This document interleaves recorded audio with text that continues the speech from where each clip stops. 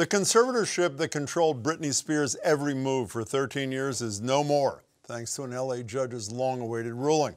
The case gained international attention through the hashtag Free Britney movement and centered around a legal arrangement first created in 2008, which put her father in control of both Spears' finances and her personal life, from her ability to travel to where and when she could seek medical and mental health care. But as her lawyer said after the decision was made, this was not a victory for Spears alone.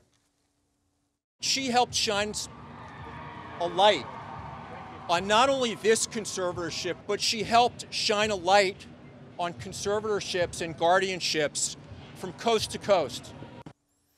Activists for senior citizens and people with disabilities have pointed to the million plus people living under conservatorships in the U.S. at any given point many of whom, like Spears, have lost basically all of their personal freedoms, with questions about whether such drastic steps are necessary in all such cases.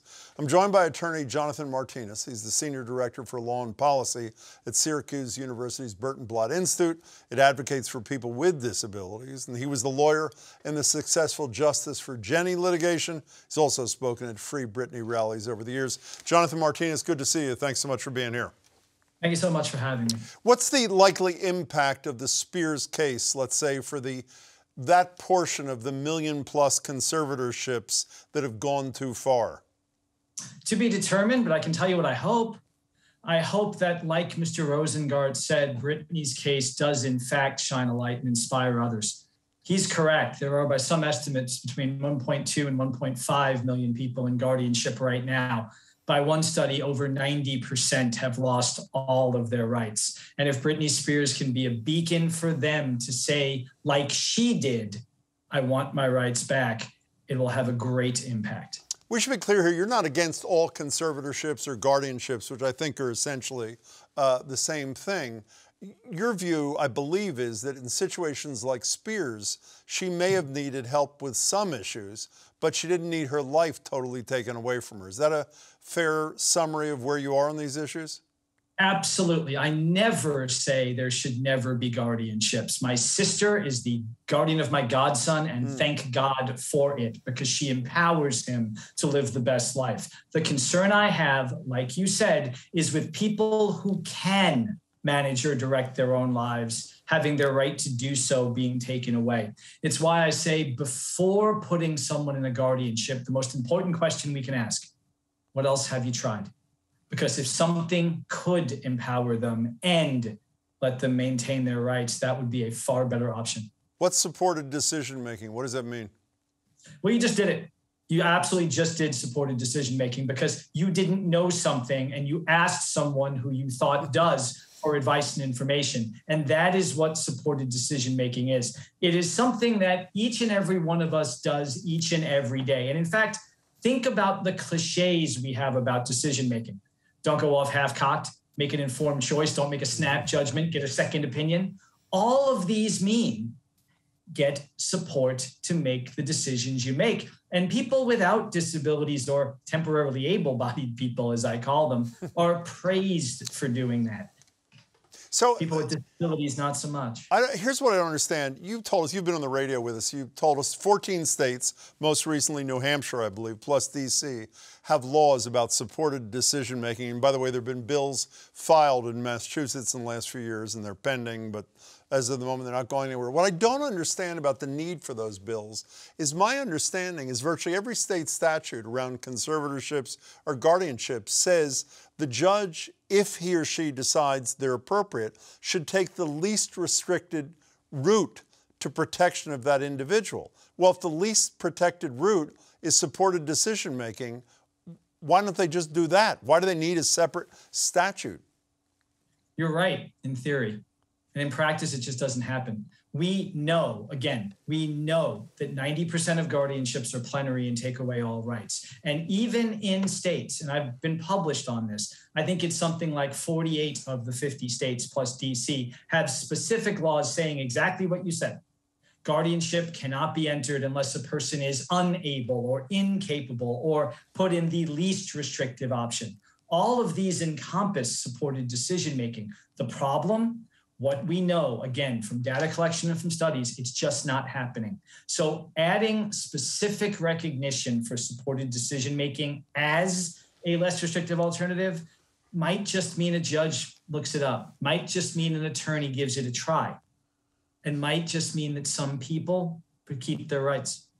You know, the two things about the Spears case that have put me over the edge one, that she was unable to pick her own lawyer. I want to get to that in a second with you. And two, that she didn't even know until late in the game that she could petition a court to end this thing. Speaking of the lawyer thing, correct me if I'm wrong. A person in a guardianship doesn't have the right to choose his or her lawyer. Is that is that correct? Some judges have said that, and here's the reason why. And I'm not saying you I agree with this. In fact, to me, this is awful. But the argument that comes from some is that for a person in a guardianship, that person must be declared to be legally incompetent and unable to contract. Retaining a lawyer is a contract. And here's the problem with that point of view. Just like you said, it dooms people to never having someone to advocate for them. Consider Britney Spears. The analogy I always give is this everyone celebrated when Britney Spears got to choose her own lawyer after 13 years in a guardianship. But what that meant is this if 13 years ago Britney Spears had committed murder with an axe, if she was an axe murderer, she could have picked her own lawyer then. So, what happens to people across the country is people with disabilities, especially those in guardianship, have less rights than axe murderers. And it forces us to ask two questions. Why? Why are we treating people with disabilities as having less rights than axe murderers? And two, can't we do better? And shouldn't we do better? You know, uh, the other thing, as I mentioned to you, Jonathan, a second ago, is this whole notion that Spears apparently didn't even know that she had a right to petition a court to end this uh, this uh, prison-like conservatorship, apparently, of her father. Uh, don't states require that there be some periodic review, or is it just you lie in a de facto cell until you make a move? I mean, what are the what do the laws say? Some do. The vast the vast majority do not. And you again bring up one of the biggest problems. And in the Britney Spears case, it's it's highlighted even more. I mean, she had a court appointed attorney, someone who was paid from her estate. So as long as she was in guardianship, a court appointed attorney was being paid by her, even though she didn't want to be in that conservatorship. So there was somebody who at least we have to think had a vested interest in keeping her in. Because that person, according to Britney, never told her she could ask to get out. That means that lawyer made 13 years of payments from her estate. And if he never told her that one of her rights is to ask to terminate the conservatorship, then I don't know what to tell you. It's terrifying, isn't it? Imagine not only not knowing that you can fight, but not knowing that you have someone to fight for you, or even have a right to have someone to fight for you. Is it too radical to suggest that one of the things legislatures should contemplate, since the current system is not working, is rather than periodic review, which is honored in the breach, that these things be sunset?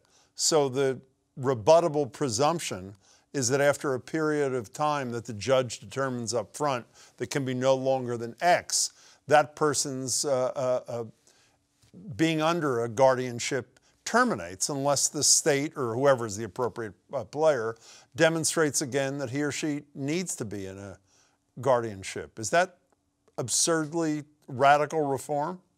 I don't think so. And in fact, I've been involved in cases and consulted with cases where just that has happened, where the idea is I mean, the, the most common and most frequent person going into guardianship, according to the National Council on Disability, are 18 to 24 year olds with intellectual disabilities. Who has a better opportunity to grow and learn and develop than an 18 year old? So I've proposed that in a number of cases where if someone who's 18, mind you, might not be ready to run his or her own life, guilty as charged, by the way, then there should be someone who's able to say, I can help, or I'm, and part of my guardianship is going to be teaching you and working with yeah. you to develop those skills. And unless it's proven, like you said, that the guardianship is still needed, it should terminate. I completely agree with you, sir. You know, at the beginning of this, I mentioned Jenny Hatch, and I think most people probably have heard the name and knew the case. In 90 seconds, I know this is a tall order. Can you briefly tell us about the case of Jenny Hatch and how she is today? Yes. Well, one, Jenny is and was a person with Down syndrome. At the time Jenny went into guardianship, she had had her own job for five years, her own apartment, neither one of those a supported or disability based job or apartment. She had her own life, friends she hung out with, politics uh, that she was involved in, a church she went to. After getting into a car, an accident, she was hit by a car that caused no cognitive limitations. She was put into a guardianship where she literally walked into a courtroom in Newport News, Virginia, with all her rights, all the rights that you have, walked out three hours later with nothing. And when I met her, she was living in a group home, even though she wanted to live with friends. She was working in a sheltered workshop, making less than minimum wage, even though she was welcome to go back to her job. She was told she had to go to a different church than she wanted to. What we did with Jenny was showed exactly what we talked about about supported decision making. Jenny's perfectly capable to do the things all of us do. Jenny might need a little more support to make decisions, but in the same way that I need support and you need support, when we get them, she does it. And after a year of litigation, six days of trial, uh, Jenny was freed. Jenny is now living free and has been since 2013. She is working, she is living, and she is very happy. Jonathan Martinis, thanks so much for your work, and I really appreciate seeing you here tonight. Thanks for your time. It's been my honor, sir. Thank you so much. Be well.